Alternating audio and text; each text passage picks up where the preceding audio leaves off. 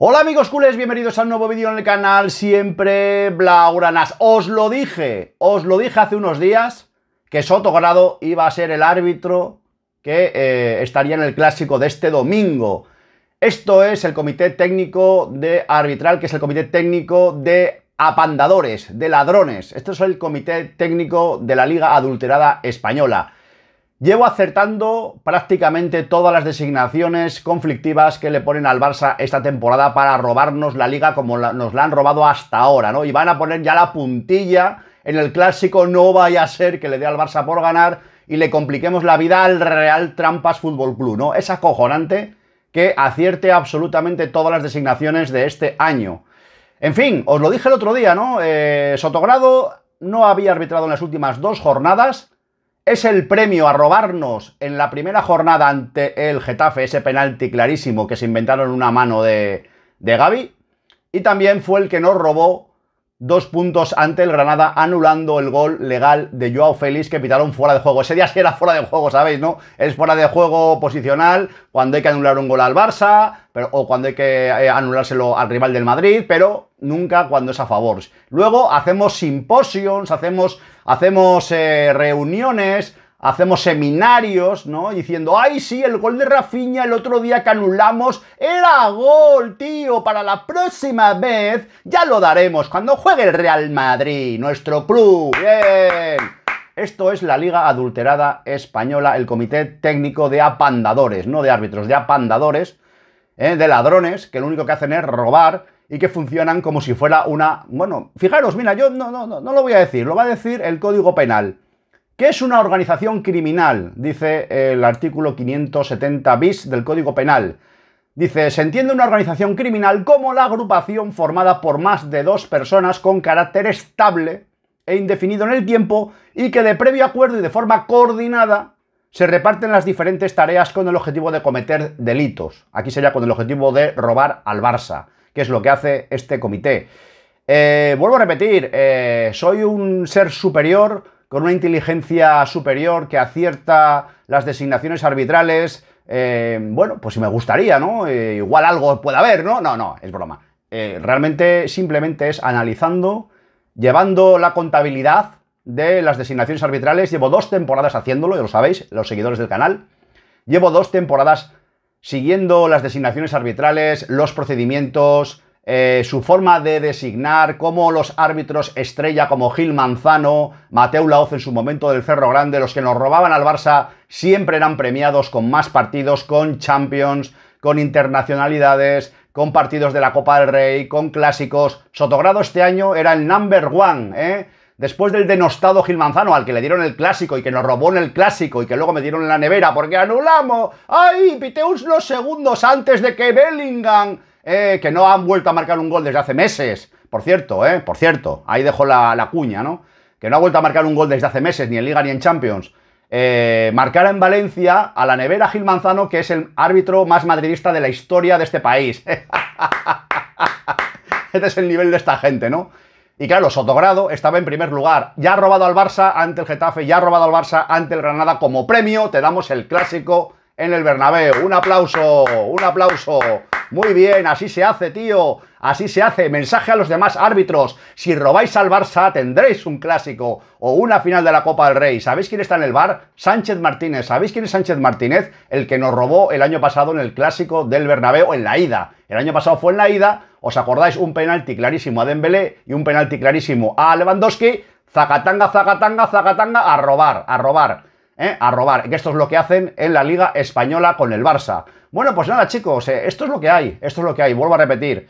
Eh, era bastante claro, ya os lo digo, si se sigue con tranquilidad y con análisis cómo designan, cómo actúa esta banda organizada, que es el Comité Técnico de Árbitros pues resulta que es mm, muy sencillo eh, saber qué árbitros van a pitar y luego también teniendo en cuenta las últimas jornadas. Ya os dije, Sotogrado no había arbitrado en las dos últimas jornadas, solo lo habían puesto en el bar.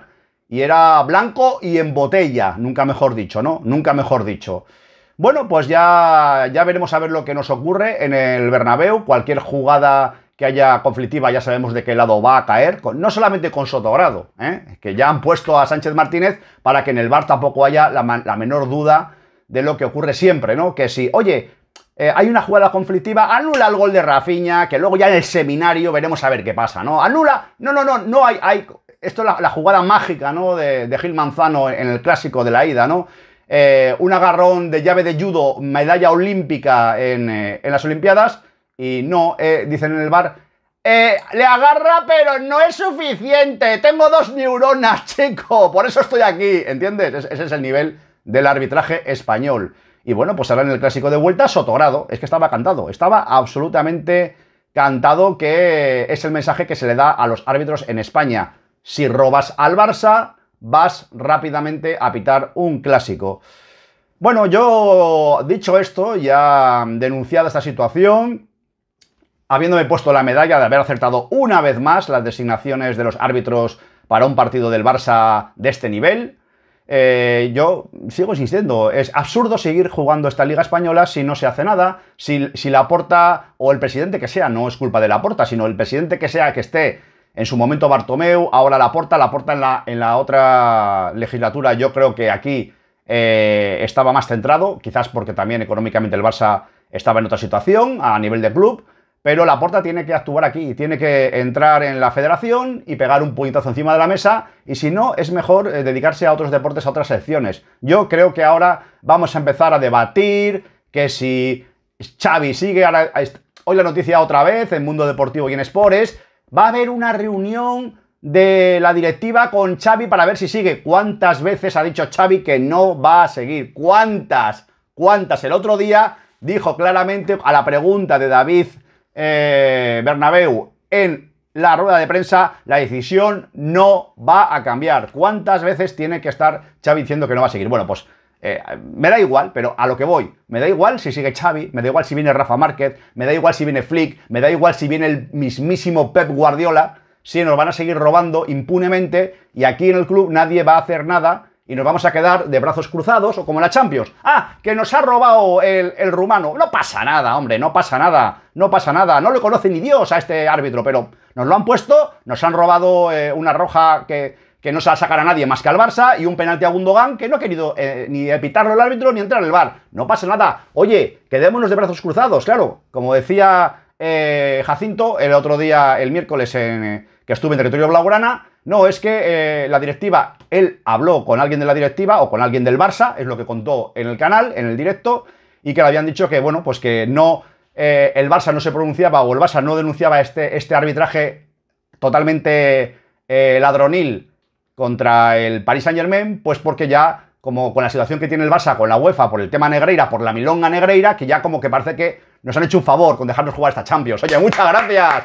Nos dejáis jugar para robarnos. ¡Oye, qué bien! ante una milonga como la de Negreira en la que no hay absolutamente nada más que el mononeuronalismo de la caverna madridista y del madridismo sociológico y burrológico de Florentino Pérez, que es el que maneja los hilos, como hemos visto en el palco el otro día, de árbitros, de eh, eh, políticos, ministros, presidente del Tribunal Constitucional, jueces, fiscales, audiencia nacional, es, es, para no parar de reír, ¿no? Es para no parar de reír y luego, nada, te encuentras con que no, hay que cargarse a Pedro Rocha, ahora van a cargarse a Pedro Rocha y ahora también quieren cargarse a, Javier Tebas, porque ahora, esto es como lo de Gil Manzano, luego haremos un vídeo de Javier Tebas, esto es como lo de Gil Manzano, ¿vale?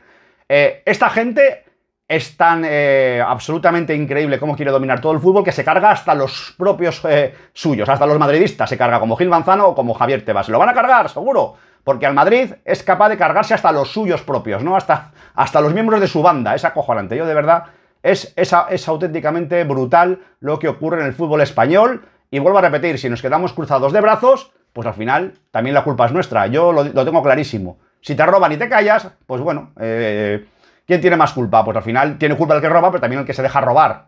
Y así no podemos seguir. No podemos seguir porque ¿qué más me da miedo que venga Xavi, Flick, Guardiola? ¿Qué más da que fichemos a Kimmich, a Haaland, a Mbappé? O que venga otra vez Messi. Me da igual. Me da igual. No, esto lo hablo en broma, no va a venir, yo lo sé. Pero bueno, quiero decirte que queda igual. Eh, si fichamos a un pivote, ¿para qué? Pues si te van a robar igual. ¿Qué más te da? Si luego le van, a, le van a reventar una patada al pivote y le van a romper la pierna por tres sitios y van a decir, no fue falta, no fue ni falta. Le van a hacer una llave de judo a Mbappé o a Haaland si viene al Barça eh, y no van a pitar penalti, porque no es suficiente, no es suficiente, tío. Luego hace así, Araujo a Vinicius, ¡penalti! La Supercopa, ¡penalti! ¡penalti que le ha tocado! ¡Dios mío! ¡Contacto! ¡Ha habido contacto! Como el otro día eh, ante el PSG. ¡Ha habido contacto!